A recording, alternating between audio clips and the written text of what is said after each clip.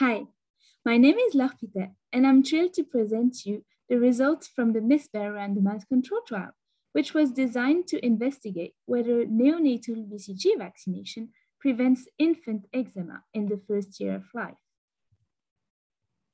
The prevalence of atopic diseases has increased over the recent decades, and it is globally estimated that 20% of school-aged children have active symptoms of eczema. The reduced exposure to microorganisms might have contributed to this rise. It's what we call the hygiene or the old friend hypothesis. By providing an early and controlled microbial exposure, neonatal BCG vaccination can potentially reduce the incidence of eczema by promoting the Th1 immunity and suppressing the Th2 immunity that causes allergy. Because indeed, there is increasing evidence to suggest that the immunomodulation induced by BCG could play a role in counteracting the rising prevalence of atopic diseases.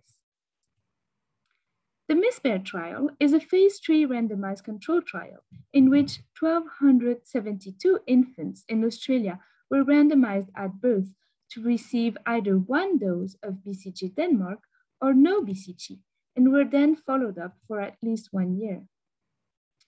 We found that the cumulative incidence of eczema in the first year of life was 36% in the control group, but only 32% in the BCG group.